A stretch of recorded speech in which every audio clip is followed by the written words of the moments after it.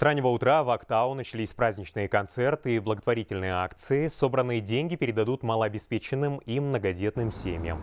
Моя коллега Динар Нургалиева готова рассказать обо всем подробнее. Динар, с праздником. Вам слово. Добрый день, Алмаз. Сразу отмечу, что подобные благотворительные мероприятия в регионе проходят на регулярной основе.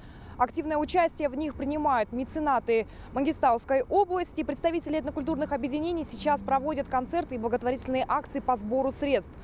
Что касается многодетных семей, в январе месяце материальную помощь в размере 34 миллионов тенге получила 500 а, семей. А, в январе, в феврале точнее, цифры существенно уже увеличились. А, материальную финансовую поддержку получила 756 семей. Также хочу отметить, что во второй половине дня а, в здании Дома дружбы пройдет крупномасштабное мероприятие с участием представителей этой культурных объединений Мангистауской области. А, туда приглашены а, специалисты крупных нефтяных компаний Мангистауской области. Рядом со мной сейчас находится председатель Корейского этнокультурного объединения Мангистауской области Раиса Маденова. Здравствуйте. Здравствуйте. А как проходит мероприятие? Вы знаете, Сегодня очень замечательный день, день благодарности, где каждый житель может помочь любому нуждающему.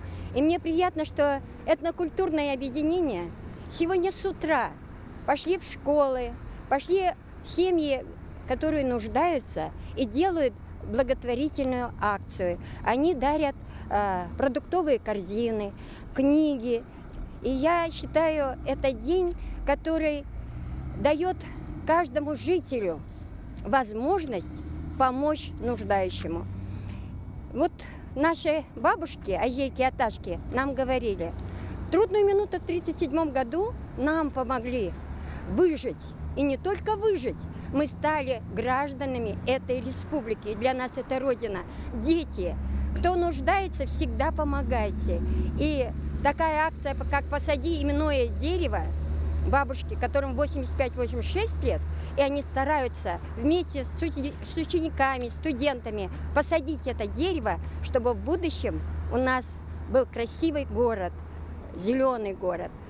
И сегодня очень большой будет праздничный концерт у нас в нашем Доме дружбы. И в этом концерте будут участвовать и наши молодые э, певцы с этнокультурных объединений. Я бы хотела всех поздравить с этим замечательным праздником, пожелать всем крепкого здоровья, счастья, благополучия. У нас, наверное, самая замечательная страна, родина наша, Казахстан.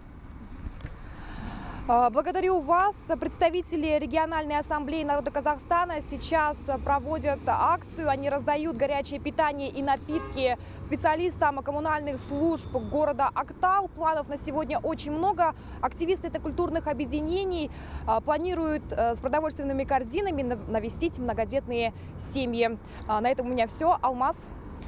Спасибо. Из Актау на прямой связи наш корреспондент Динара Нургалиева.